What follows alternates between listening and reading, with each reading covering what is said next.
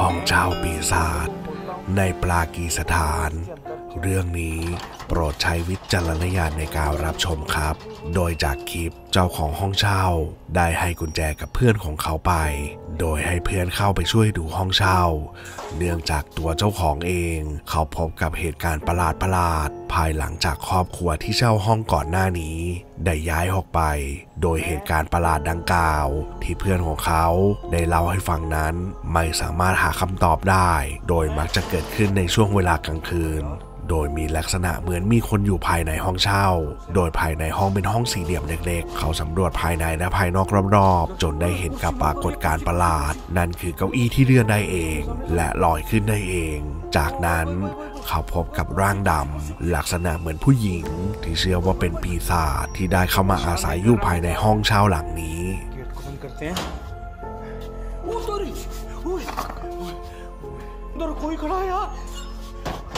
ลิปนี้โปรดใช้วิจารณญาณในการรับชมนะครับ ชอบชายคลิปและเรื่องราวประหลาดแปลกๆ แบบนี้ ฝากช่วยกันกดไลค์กดแชร์ และติดตามช่องของเราด้วยครับ ขอบคุณครับ मूवमेंट होने लगी मूवमेंट होने लगी देखो